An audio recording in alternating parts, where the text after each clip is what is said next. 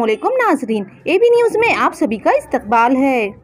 नाजरीन, आए दिन मुस्लिम नौजवानों के खुदकुशी जैसे हराम इकदाम के वाक़ रुनुमा हो रहे हैं। ये इस्लाम में दूरी के नतज है या नौजवानों में वक्त या मुश्किल में सब्र ख़त्म हो गया है? इस्लाम में खुदकुशी को हराम करार दिया है, जिसकी माफ़ी नहीं है। हर मुश्किल का हल खुदकुशी नहीं है, बल्कि दुनिया और आखिरत में रसवाई है। नाजरीन, हम आप सभी नौजवानों से गुजारिश करते हैं कि ज़िंदगी के मुश्किल वक्त में इस्लाम का दामन थामे, अल्लाह पर मुकम्मल तवक्ल रखते हुए मुश्किल वक्त में साबित कदमी के साथ आगे बढ़े। अल्लाह ने कुरान के ज़रिए मुसलमानों को पैगाम दिया है, अल्लाह हर मुश्किल के बाद आसानी लाएँगे। देखते ही देखते ये मुश्किल वक्त भी गुजर जाएगा। इसीलिए खुदकुशी जैसे हराम कदम ना उठाए, अपनी आखिरत तबाह ना करे और अपने पीछे अपने परिवार को ज़िंदगी भर का जख्म ना दे। फलकनुमा में एक नौजवान ने खुद को फांसी लगाकर खुदकुशी कर ली। फलकनुमा पुलिस स्टेशन हदूद के इलाके के साकिन 21 साल मिर्ज़ा उमर बेग उर्फ़ शोएब ने अपने ही मकान में फ़ैन की मदद से खुद को फांसी लगाकर खुदकुशी कर ली। मरहूम स्नोकर पार्लर में मुलाजिम थे और कल रात नौकरी से घर वापस आकर ये अफसोसनाक इकदाम अंजाम दिया। खुदकुशी के वक्त घर में कोई मौजूद नहीं था। इतला मिलते ही पुलिस मुकाम वाक़ पहुँच कर तफ्तीश की और नाश को बगैर से पोस्टमार्टम हॉस्पिटल मुंतकिल कर दिया। खुदकुशी की वजूहत मालूम ना हो सकी। पुलिस ने इस जिमन में केस दर्ज करते हुए मुख्तलिफ़ जावियों से मजीद तहकीक़ात का आगाज़ कर दिया। आइए देखते हैं ए बी न्यूज़ की ये खसूसी रिपोर्ट में मरहूम मिर्ज़ा उमर बेग के करीबी दोस्त मोहम्मद अल्ताफ़ से मजीद तफसीलात। हर खबर से बाखबर रहने के लिए ए बी न्यूज़ को यूट्यूब पर सब्सक्राइब करें फेसबुक पर लाइक करें इंस्टाग्राम और ट्विटर पर फॉलो करें। वालेकुम। मेरा नाम मोहम्मद अल्ताफ़ है। मेरा जिस दोस्त उमेर बेग का इंतकाल हो गया अभी थोड़ी देर पहले। वो क्या है मैटर हम लोग को भी नहीं मालूम।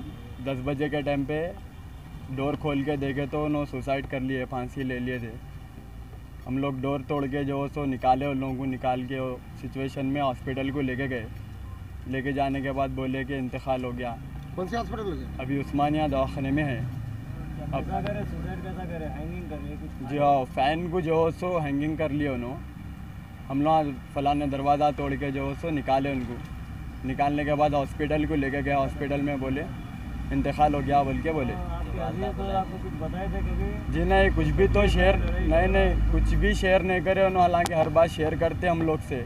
मेरे से तो करते किसी भी नहीं करे तो नहीं करे। कोई भी बात मेरे से शेयर नहीं करे उन्होंने और साढ़े नौ के टाइम पे मिले भी उन्होंने मेरे को कहा हुआ रे भाई? जा रहा क्या काम? पे बोले तो हाँ भाई जा रहा हूँ बोल के बोले। उन्होंने स्नोकर पार्लर में करते अलमिन। क्या पार्लर रहता। कहाँ एज ट्वेंटी वन ईयर्स के उन्होंने ये वाकया कहाँ हुआ बा? ये नवाब साहब कुंटा गुड़ी के दवाखाने के पास एम कॉलोनी है। घर में कोई नहीं थे जब? नहीं नहीं उनके वालदा भी जो सो नहीं थे कोई भी नहीं थे। अकेले थे समझो ना घर पे। इसलिए वो क्या शैतानी वसवसा था कि अल्लाह बेहतर जानता उनको मालूम अल्लाह को मालूम हम लोग रहते थे उनके साथ? घर में देखो कोई भी नहीं वालदा वाली साहब और दो भैया रहते बस। बहन की शादी हो गई उनके। नहीं उनका करे जब कौन कौन मौजूद थे घर में? जब कोई भी नहीं थे थोड़ा वाली साहब उनके मेंटल दिमाग के समझो हैंडीकैप है उन्होंने भी नहीं मालूम कहाँ गए थे। कोई भी नहीं थे भैया तो जॉब पे थे वालदा भी जो सो वालदा भी नहीं थे घर पे। भैया तो जॉब पे गए थे। नहीं नहीं नहीं नहीं मालूम। हम लोग यहाँ तो देखो भाई हम लोगों को भी उतना नहीं मालूम। हम लोग यहाँ भी जॉब्स पे थे कामों पे थे। अब फलाने उनके वालदा बोले शोएब कब से सो रहा की बा नहीं उठा। नाइट में ड्यूटी करते थे बहनों अब वही चंदादा लगा के वालदा भी बोले नहीं उठ रहा बा अल्ताफ आके देखो बोले तो।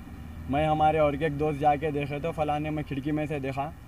देखने के बाद मैं बोला अरे पाशानो सुसाइड कर लिया अरे भाई कैसा तो भी हुआ कि दरवाज़ा तोड़ दिया बोल के मैं हमारे दोस्त दरवाज़ा वाले कुछ ने बताया इसका क्या वजह नहीं नहीं घर वालों का भी कुछ भी इसमें इन्वॉल्वमेंट नहीं है मतलब उनको लोग को भी नहीं मालूम।